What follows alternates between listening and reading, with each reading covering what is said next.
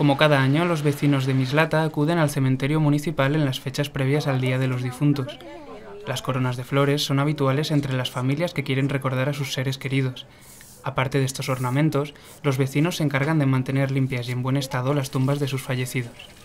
Pues nada, yo he venido a ver a mi hermana y a mis padres y a la familia y a mis cuñados, a todos los que están aquí. De paso, a todos. Todos los años, todos los años. Antes por mis suegros y ahora por mis padres también. Por los cuatro. Y todos los años venimos a, a arreglársela.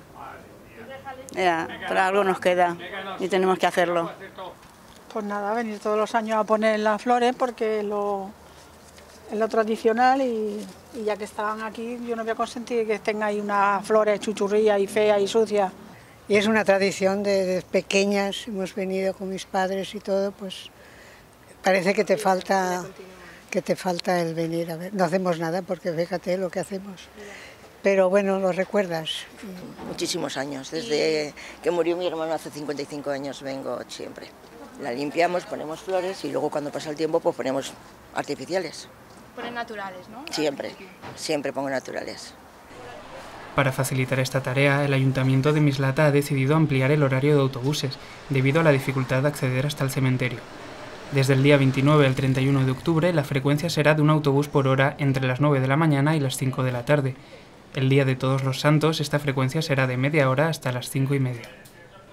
Llevamos ya prácticamente casi todo el mes de octubre preparando eh, o haciendo los preparativos para eh, el día de Todos los Santos, el día 1 de noviembre, donde la gente suele acudir eh, en masa para visitar a sus seres queridos. Hemos preparado pues, el, el aparcamiento, la, las direcciones que en estas fechas se cambian para poder tener más fluidez en el tráfico. Este mes eh, se, ha se, ha triplicado eh, los días previos a, al día 1 de noviembre para que la, gente pueda ir, en, eh, pueda ir en autobús porque el coche es un poco complicado estar en la otra zona de, la V30 y se ha triplicado para que la gente vaya más, eh, con más comodidad al cementerio. Este año, debido a la falta de espacio, se celebrará un responso general para todos los difuntos en lugar de la misa habitual. Esta concelebración será a las cuatro y media de la tarde y estará a cargo de los párrocos de la población.